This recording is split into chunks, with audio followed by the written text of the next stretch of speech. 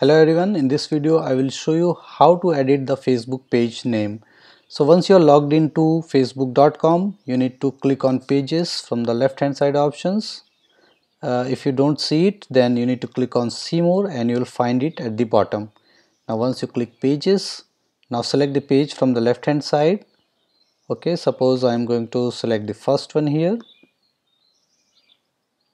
okay once you are here you need to go till the bottom and click on settings. And now you need to click on page info here from the left hand side. And then you can see you can edit the name here okay? Here is the name you can edit it. Uh, and let me tell you that Facebook will review the name change in order to protect the identity of the business. Uh, in fact if you have more followers or more likes on your page then you won't be able to ch change it easily okay? So uh, this is how you can change the page name. So thank you for watching the video. Please like it and subscribe to my youtube channel. Thank you